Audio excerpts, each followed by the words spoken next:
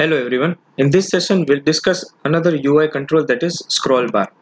Now JavaFX scroll bar is basically used to provide a scroll bar to the user so that it can be scrolled either horizontally or vertically. Now every scroll bar has increment and decrement buttons along with a thumb which can with which a user can interact. So when we move the scroll bar along with a thumb some values are incremented or decremented. So typically it cannot be used alone.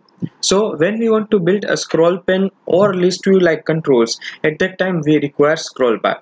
Now to make scroll bar, the constructors required is a default constructor which creates a horizontal scroll bar. Now let's see an example.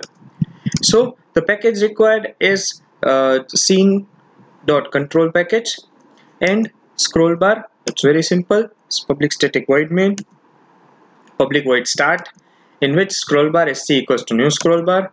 We are now setting the values for the scroll bar.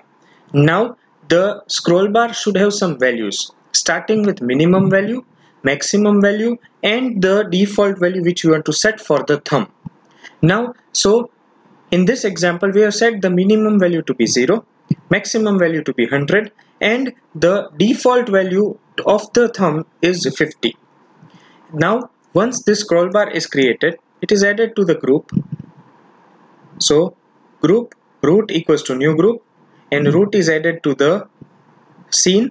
Now scene is added to the stage and later on this root we are adding the children. So root dot get children dot add sc that is scroll bar. And stage is set with the title scroll bar demo and then later on we are displaying the stage. That means scene would be displayed. So this is the output of the scroll bar Let's see the program for the scroll bar. So this is our program. Let's try to run it. So this is the scroll bar with minimum value 0, maximum value 100 and default value 50. Now this is what we are scrolling. So this is the scroll bar.